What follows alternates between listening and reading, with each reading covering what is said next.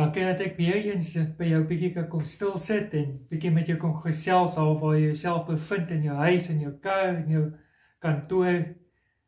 En kom ons raak net vir 'n oomblik weer bewus van dit wat die Here vandag met ons wil deel.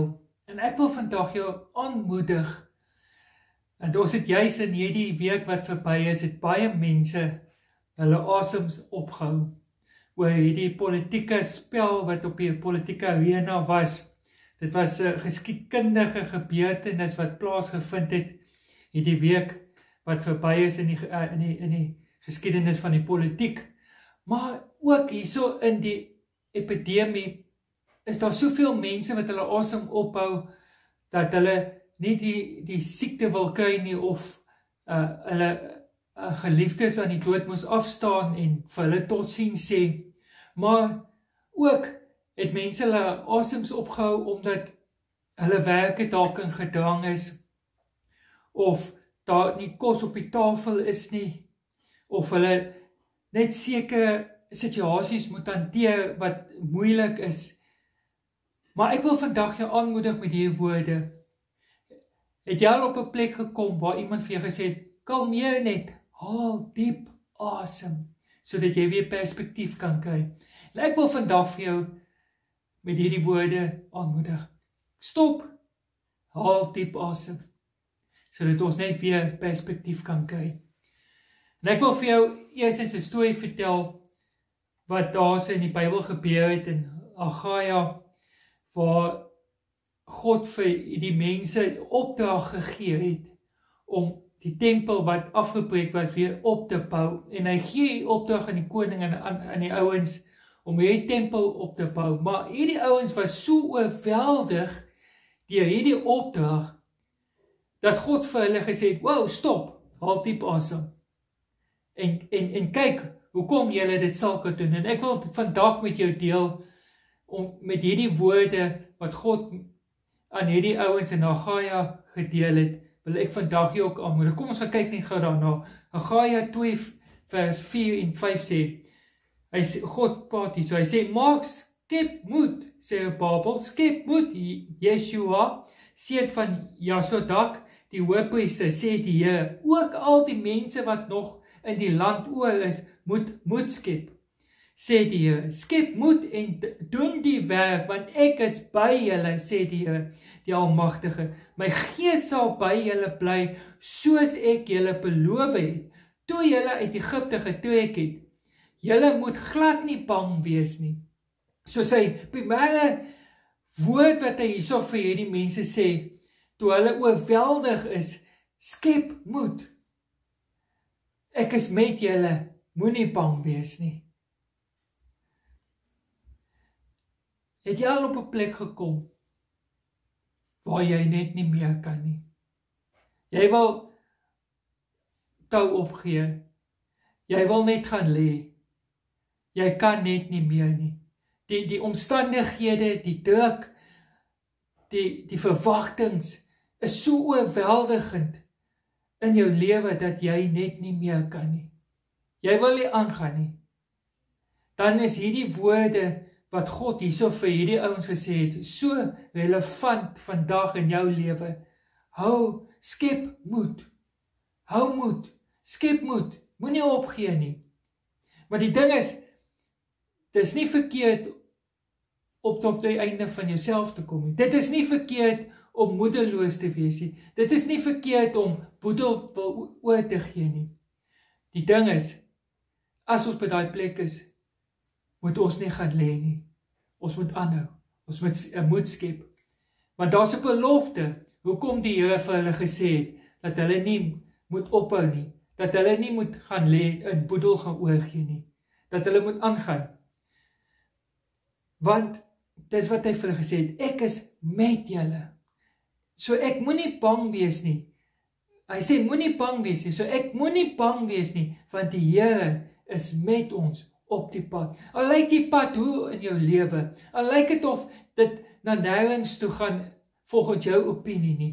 Al lyk dit of daar soveel klippe in jou pad is al lyk dit of of dit nie 'n pad is volgens jou nie is God saam met ons op hierdie pad. en hoef vir ons nie bang te wees nie, want hy is met ons. En en dit is die grootste vertoesting wat ons in ons lewens kan hê en dit is dat God is met ons. En jy's in 'n in 'n om, omgewing waar ons onsself bevind in 'n onseker tyd in ons in die land in 'n in 'n onseker tyd dalk in jou lewe en jou werk in en die en die feit dat jy geliefdes aan die dood moet afstaan. Soveel bekendes is ook die afgelope tyd het gesterf volgens as gevolg van COVID-19. En dan dan wil jy half angstig raak. Jy wil half jy weet jy, jy, jy kyk rond en jy weet nie wat ek kan doen nie. Dan sê God, "O, oh, haal diep asem. Skep moed. Want ek is met jou. Jy hoef nie bang te wees nie." Want jy sien, vrees behoof ons om te sien wat God doen rondom my. Sy groot plan in die wêreld, al lyk alles so te mekaar. En dit behoof my ook om te sien wat God doen in my eie lewe. Al lyk dit hoe behoed. Al lyk dit of daar geen plan is nie. Al lyk dit of daar geen einde of begin is nie. Skep moed. God het 'n plan. En ons moet net sien dit wat hy rondom ons en in ons lewens doen. Want jy sien 'n gebrek om te sien wat God doen blokkeer die dankbaarheid wat ons het teenoor hom en teenoor die lewe. Want dan behoof dit ons om in alle dankbaarheid teenoor God te wees en dit behoof ons om die lewe te omarm en te leef uit dankbaarheid. En daarom moet ons nie toelaat dat vrees dit wat God doen blokkeer nie. Ons moet vrees uit ons lewens uit verwyder sodat ons kan sien, sodat ons kan ervaar dit wat God in ons lewens doen en rondom ons. Dis is die groot pluspunt vir ons lewens.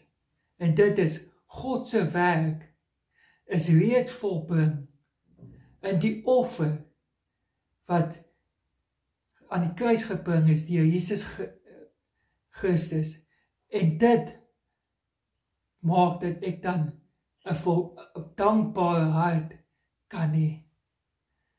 Die Bybel sê so mooi in 2 Korintiërs 1:20 want al die baie beloftes van God in Christus Jesus is dit volmondige ja. Daarom is dit ook deur Christus se toedoen dat ons om God te verheerlik daarop amen kan sê. Jy's oor die offer wat Jesus Christus vir ons gedoen het. Bring dit 'n volkomme ja in ons lewens en en en dit kweek 'n volkomme dankbaarheid in ons lewens omdat Jesus Christus alreeds alles vir ons gedoen het.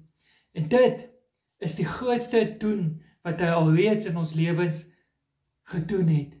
En dit kweek 'n dankbaarheid in ons lewens. Dit kweek dat ons nie hoef bang te wees vir hierdie lewe nie, want die prys is alreeds betaal.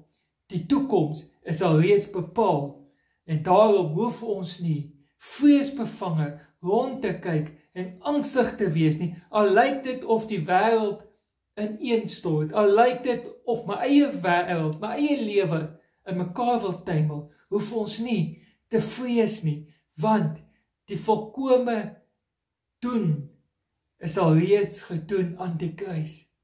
En ek wil vandag jou aanmoedig met hierdie woorde. Haal diep asem.